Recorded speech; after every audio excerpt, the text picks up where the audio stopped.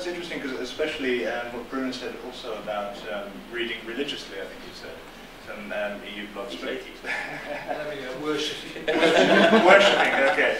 Because can I just turn to, to Sunny now? Like, what what's the? Um, could you just give us an assessment of the, the British blogosphere at the moment? Like, what the political um, blogosphere in Britain, um, and and if it's changed at all, and especially I'm thinking in the last five years, like how's it developed?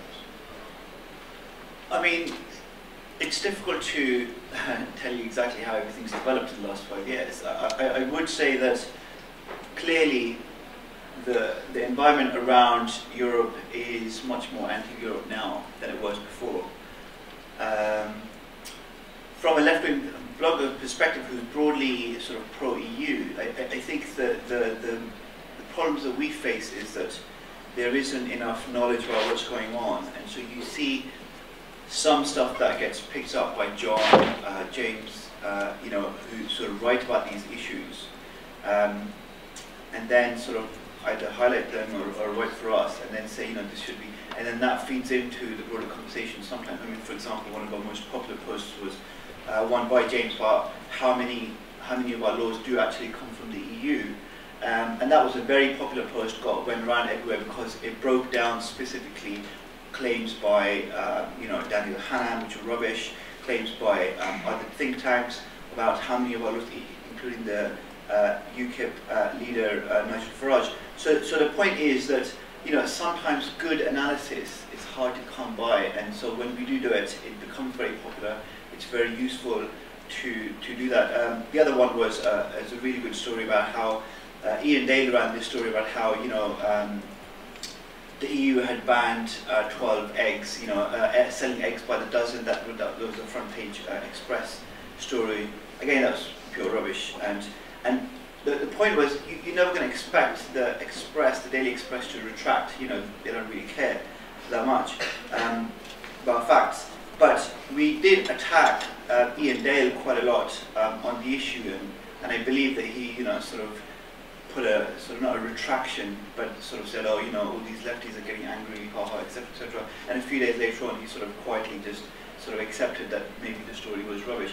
So, you know, I, I, think the point I'm trying to make is that as things get more complicated or as the temperature is, is raised in uh, around Europe, it's difficult to, from a left-wing blogger perspective, to try and hit back at the constant drip drip of information from the right about what is going wrong there because we just don't have the capacity. But I mean, how much um, can as a blogger, how much of an impact can, can you actually have? I mean, do you need, what? is the same question I asked Bruno, do you need the, the, the reach of the media in order well, I mean, that can happen. I mean, I, I sometimes work for The Guardian and uh, there's been issues. Uh, I mean, for example, we, we, we did a story about, someone passed us a video about how one of UKIP's uh, MEPs, um, Godfrey Bloom, had praised an attack on Greenpeace.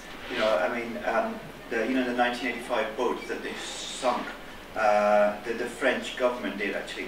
And so he, he praised an attack, you know, he, he has these videos about climate change deny, deny, uh, denying videos, and basically he just hates anyone who talks about global warming, so, you know, he was in front of a, a Greenpeace boat. So, so the point I'm trying to make is that video then got uh, picked up by The Guardian, and then they blocked about it, and he had to retract his claim. And, and so those stories can get into the media. It's just finding the good story. And, and I think, as Bruno said, it actually, sometimes it's difficult to find those stories. Sometimes, actually, I think what works better is rebuttals where you do get, you know, uh, statements from EU press officers or other people saying the story in the Daily Mail or Daily Express or uh, on Guido Fawkes or uh, Iain Dale's blogs are rubbish, and this is why. And uh, you know, I, I, think that's the that's the way we can hit back at some of the stuff that gets put out. Well, John, um, you you've you're you're you've probably been blogging about the EU for, for longer than um, I know one of the longest running EU blogs, I'm sure. Um, what, what, what is there an EU blogosphere? Um, does such a thing exist? Um, yes, such a thing does exist, and um, the, the organisation hosting today, um, bloggingportal.eu, is kind of the centre of that, I would say.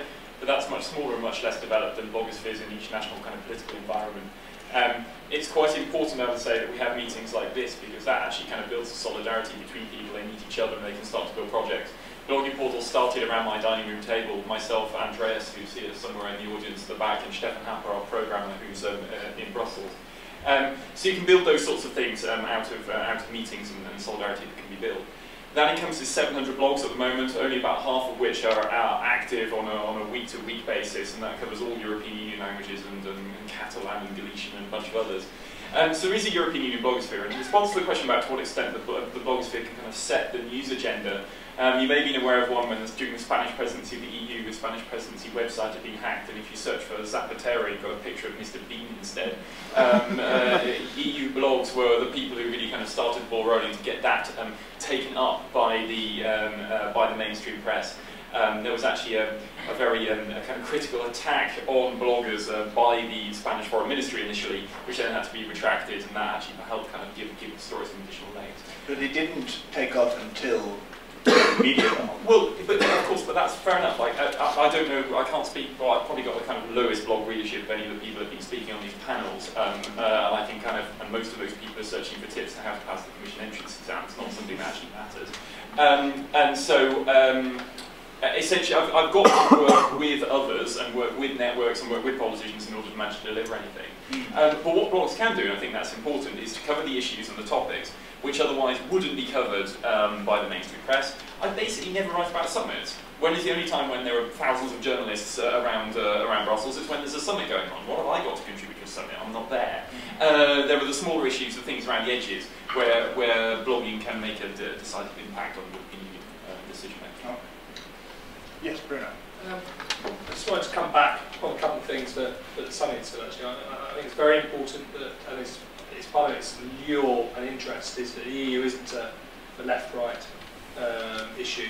Um, so I happen to be very left-wing, and one of the staunchest critics you can find um, of the European Union. So I would let's just kind of put that to one side. I think it reflects some of the examples um, that you gave, where you know, yes, I, mean, I, I actually think that James's piece about where EU regulation come, came from, some of the pieces also look at the use of statutory instruments are, are very, very interesting. There's a serious um, bit of um, analysis that's hung as a hook on what some people have been saying, but is away a bit from some of the kind of news trivia, the pantomime stuff about hacking the Spanish presidency website, kind of yawn, um, and the dozen eggs um, uh, story as well. So, and that's in, in, one sense how I find sometimes blogs quite disappointing. Apart from the, the brilliant heroic work that's done at um, a fistful of euros, um, I can't find there's been no good blogging um, and analysis of what's been going on in Ireland. I, the most important event in EU history for the last 25 years, what's, what's been going on, what is still going on. There's been very, very little good analysis why, that. Why is that?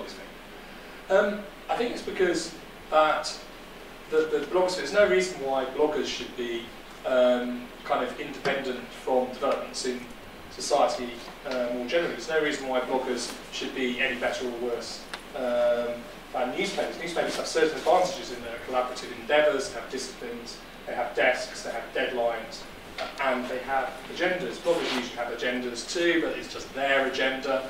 Um, I know from talking to bloggers, and we all know because we all live in the same kind of world, it's, people can get very demoralised, very, very um, easy. I, am defending bloggers, I think bloggers are brilliant, I think it's good development in terms of public life, but I think it needs to go um, a little bit further. And I don't really see, at the moment anyway, in terms of EU blogs, a dynamic that lifts the debate up. There are good examples when bloggers do really good, important work, but I don't see it as enough of a general trend where bloggers really lift up um, the debate, which is what I'd like to see.